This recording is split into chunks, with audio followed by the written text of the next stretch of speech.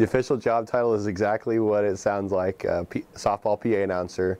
Um, I split the games with another guy, and um, that's basically what we do is we announce the lineups and the batting order and everything as they go through the game at each of the KU softball games. One of my friends, Sean Kellerman, he um, called me up one day and said, this opportunity is available. Um, I've recommended you to my former boss because he had the job last year.